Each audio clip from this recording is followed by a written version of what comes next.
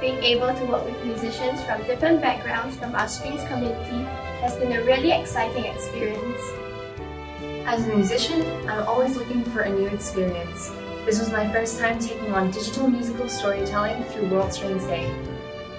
Greetings from Kuala Lumpur, Malaysia. It is with great pleasure that I join my fellow musicians from across the globe on this very special virtual stage. To travel the world playing the violin has been a lifelong dream.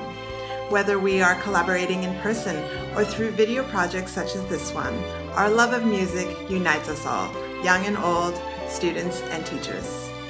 Hi, being able to play and showcase my little passion for music despite my age has been a really rewarding experience in the World Strings Day.